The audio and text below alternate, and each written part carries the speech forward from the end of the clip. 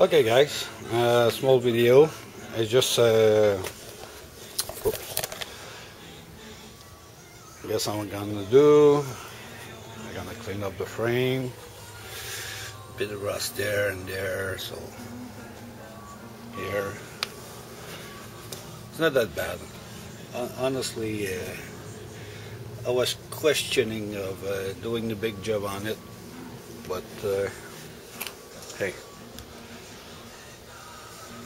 So uh, I did some test patch, I did this, and that color there is going to be it. So I didn't like the uh, hammer look. So.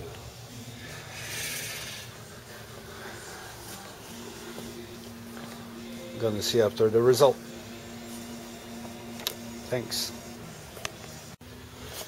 Ah after uh, a bit of work the frame is uh, clean up. As you can see no sign of rust. And uh, the paint is dull what's left of it so should be good. Next step Hey guys. Yeah, it's done. Fresh coat of paint on it.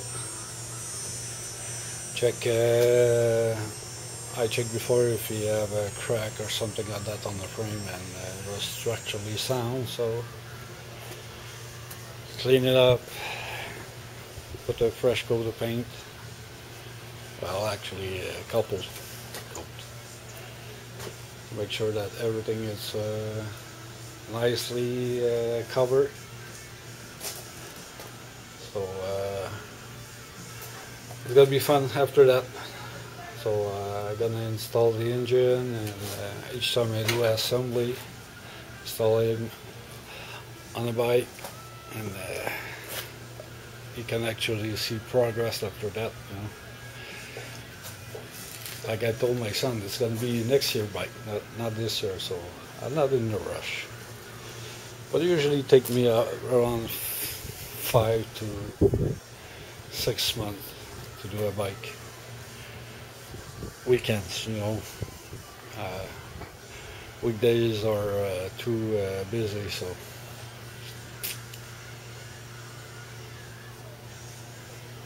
That is it. Hope you like it. Take care.